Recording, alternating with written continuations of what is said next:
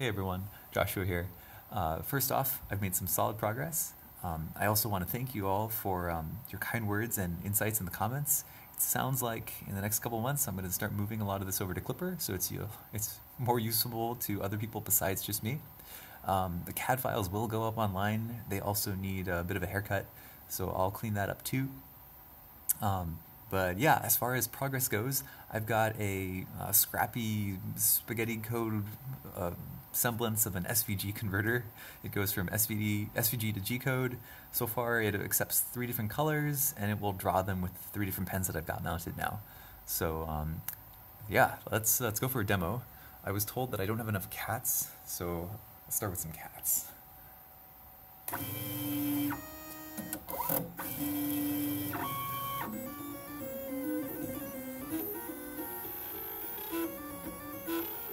So if you notice, it looks like it's tracing maybe the perimeter of the stroke rather than the stroke itself. So this is a pretty early SVG converter, but it's okay.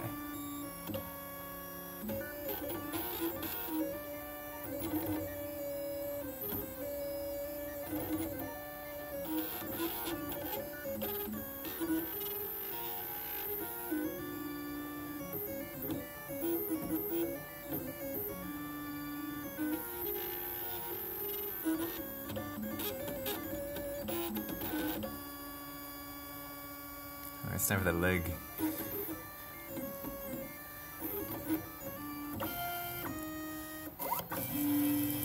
Let's get some fuzz in there.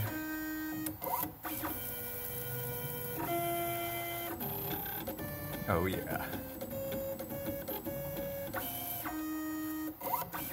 Ah, noise makes me very happy.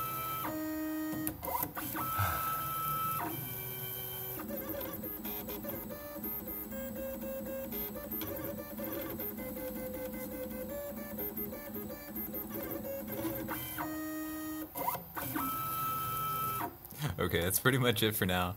Um, if you're over at MRRF uh, 2019, uh, come find me or I will look for you. Just let me know. Um, I will be there. Um, I'd love to see what you've got and I'd love to hear what you think. And it'll just be fun to meet lots of people. Okay, um, that's it for now, and I'll see you all in the future. Cheers.